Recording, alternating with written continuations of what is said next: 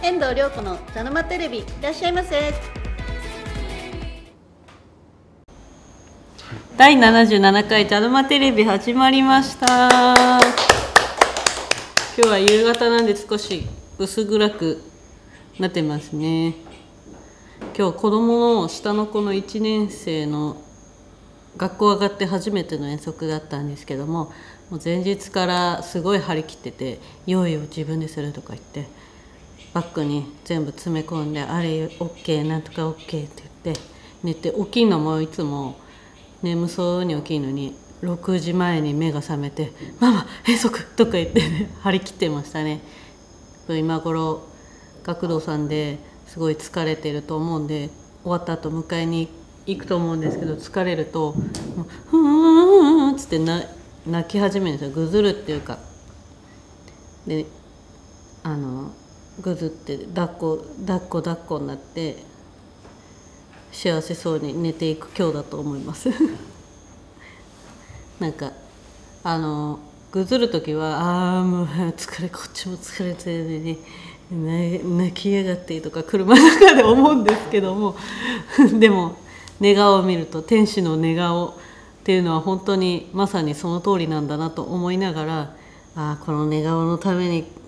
今日も一日頑張れて今日も生きてるんだなって思います。子供のがあっての私なんだなってつくづく感じる毎日です。いや先週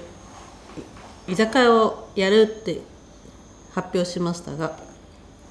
その内容をちょっと説明していこうかなって今日は思います。じゃじゃん。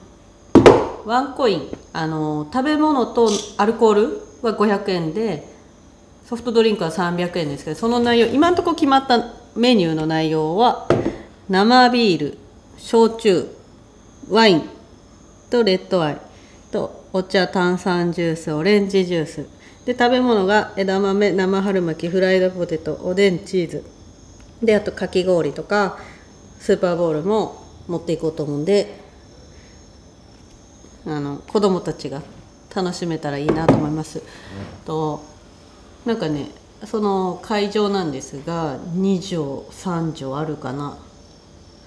3畳あんのかな。そんぐらいのスペースがちょっとお座敷みたいになっててあとは椅子なんですけどそのお座敷みたいなスペースにおもちゃなどを置いて子供がワイワイできるスペースにしようと思っています。あとはあのワンコインであの前持って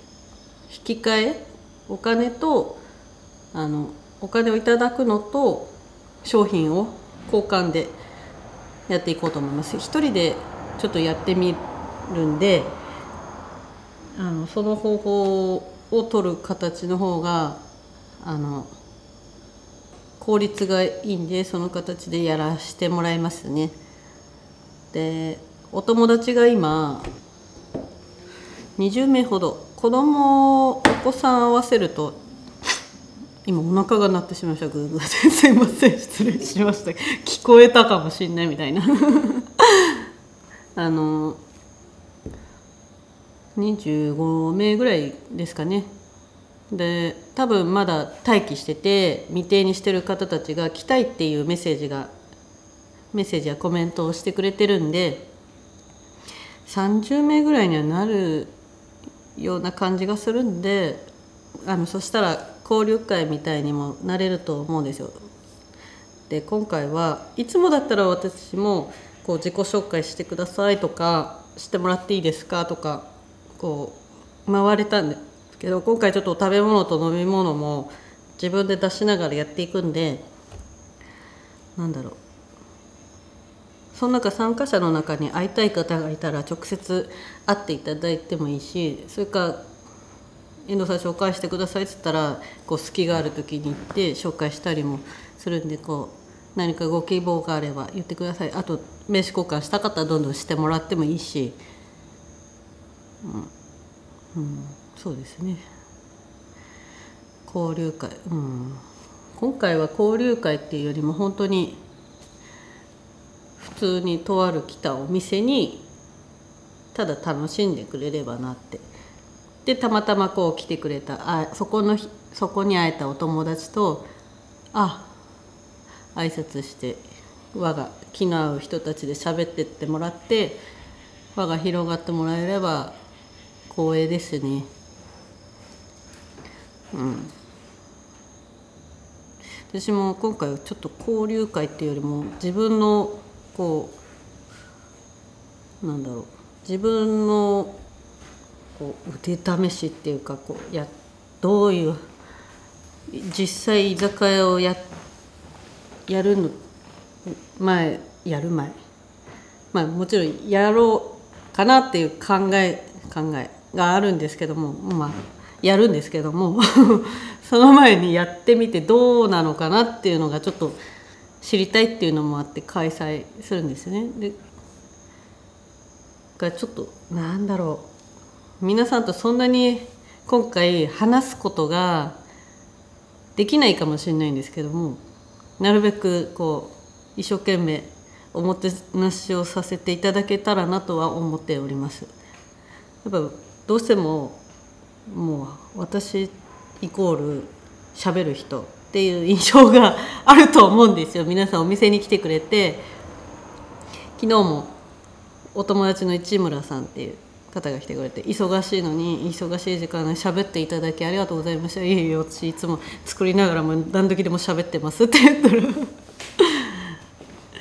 さすがですねって言われたただこう口を開ければずっと喋りっぱなしっていうか。なんだろう一つのことを一つに集中されるタイプじゃなくあっちもこっちもこうややってることに何て言うんだろう生きがいを感じてる人間なんでなんだろう作りながら喋るっていうのはもう当たり前のことでそれをちょっと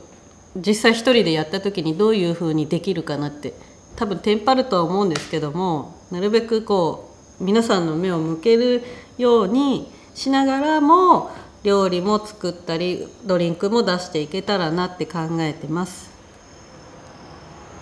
うん、やっぱ2人ここは今2人でやってんですけども2人だとうんどうしてもやっぱこう甘えが出てくるんですね。親が自分が手が開かないと親がやってほしいと頭の中であるんですね。でも今度は一人だと誰かにやってっていうことはできないんですよ。手伝ってこれとか。そんな時にどんな状態になるのかちょっと楽し楽しみっていうかどういうふうに自分はそこに対応していくのかなとかそういうことをちょっと知ってみたいんですよね。うん、うん、多分。テンパるんでしょうけど。分かることは。でもその今回でこう分かって反省とかできたらまたこう新しく自分で独立した時にそれを反省点にしながらあとあこういうことはやってよかったとかいうことを目標に頑張ろうかなと思ってそのなんていうの目標のためにちょっと今回はやらせていただこうと思っております。でもまずはその自分がどうこうっていうよりも皆さんに楽しんでいただけることを第一に考えてイベントを無事最後まで終了できたら幸いです。なんかねみんなこうメッセージでくれんですよね。ここはこうした方がいいんじゃないか。ここはああした方がいいんじゃないかとか。ああなるほどっつって。で面白いことに「ここはああした方がいいんじゃないか」っつって「応援してます」っつって「不参加。ああ」みたいな「なんだそれ」みたいな。面白いなって。みんななんだろう。言いたいんだなっていうのがすごく分かりますね。ここに接客できてても面白いんですよ。あの私会ってない方は結構自分のことを言いたい人だと思われがちなんですが実際は9割方聞いてる人なんですね。自分のことを言うもちろん自分の話なんて仕事中にそんなしたって誰が興味あるのって思うからって思うのもあるんですけど聞いてる方の方が9割方でそれが好きうん好き。うん。それが私の仕事だと思うしそれを聞いてくれるってっていうのを前提に常連さんとかは来てると思うんですよ。だからあれ？また何が言いたいか分かんないですけど何が言いたかったんだろう？そうそういう接客をしててそれを、うん、とにかく生かしていけたらいいなと思っております。なんかね実際と私こう喋っててこの間も遠藤さんのイメージそのままですって言ってるか言ってくれることが最近は増えたんですけどもむしろ裏表がない方なんですけど自分で言ってるから分かんないですけどでも結構イメージがいつも元気で張り切っててなんだろう。そういうイメージがあるらしくあとは熱熱い人とかあと何ですかね。なんだろう。自分自分自分みたいに 見られがちなんですけど。実際わかんないですけど自分が思うに結構面倒くさいんですよねそういうの。なんだろう。うんなんだろう。まあ熱くなんなくちゃいけない部分もあるんでしょうけどこう自分自分自分って出すのが私実際嫌いで嫌いうん面倒くさいんですよね。なんか聞いてるのがとにかく楽っつうかそれが普通になってる日常も聞いてる方なんで意外と話しやすいんですよ。何が言いたいんだって。そういうふうな本当今後ももっとそういうとこを伸ばしていろいろやっていけたらいいなと思います。なんだろうね。ちょっと2年間フェイスブックでこういうふうに広まってってうんいや今年でお店も辞めることになったんですけどもそうすると約4年ぐらい働くことになって終了なんですけども。4年間ここのうどん屋さんで働いて学んだことを次のステップアップにつなげて来年年明けからも新しい自分でこうしたいああしたいってずっと思って抑えてきたものを腕試しの年になるために今ちょっと準備を始めてます。うん。来年どう転ぶか分かんないんですけどもとにかくもうここをやめるってことはここに甘えることはできないしで自分を自分を抑えてもきっと多分それがモヤモヤでここで働いても自分がモヤモヤしモヤモヤしたままの人生を送ることになっちゃうんできっとそれはそれで後悔するからあの来年からはもうこう誰かのせいでこうできないんだとか親のせいでこうできないんだとかいうことはもう嫌なんでちょっと自分だけ自分の実力がなきゃそこはダメだろうし自分でまいた種は自分のせいだから誰のせいにもできないことをまずこうやっていこうと思っております。うん、来年から本当にバタバタして忙しい毎日になると思うんですけどそう本当気合い入れて自分の人生がどう転ぶか楽しみですね。いや本当にこうなる人生とは思わなかったですけど本当に分かんないもんだなって思いました。35になって。なんだろう。10年前にこっちに栃木に帰ってきて専業主婦だったんですが子供を育てながらうんこうなる人生だとは思いませんでしたね。いいのか悪いのか。いいのか悪いのか。うん、でも後悔しないようには30過ぎて後悔しないように生きようと思って今のまま進んできたんですけどまだまだ妥協してるんだな自分って思ってるからちょっと自分が行動しなくてそれって意味ないんだなっていうことに気づいた今年です。それを来年ちょっとぶつけていこうかなって自分の思ってた例えば自分の思ってた不満自分が我慢してた不満はそれで良かったのかそれが結果が出る年だと思って頑張りたいと思います。うん、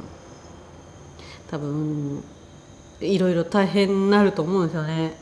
ああこういう時は自分に甘えがあったんだなとかこういうことが楽してたんだなとかあこういうこと知らなかったんだなとかこんなに一人で働くって大変なんだなとかすごい感じると思うんですけど、うん、でも自分がこう成長するにはいい機会だと思ってこうへこたれないようにまあへこたれても私はすぐ一日で忘れちゃうんで何度も何度も這い上がって頑張っていきたいなと思います。うん、一日一回の笑顔を絶やさず頑張ります。では第77回。あのこれも28日9月28日土曜日5時からなんでで守谷食堂っていうところでやります。アウトレットの先ですね。共和大学の上です。興味ある方は誰でもご来店できるんでよかったらいらしてください。では第77回茶の間テレビ今回も見てくださった皆様ありがとうございます。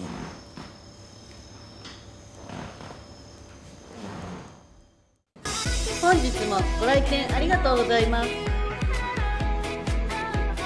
お店の電話番号はこちらです。Facebook でも遠藤涼子検索してね。お店の方にも来ちゃってね。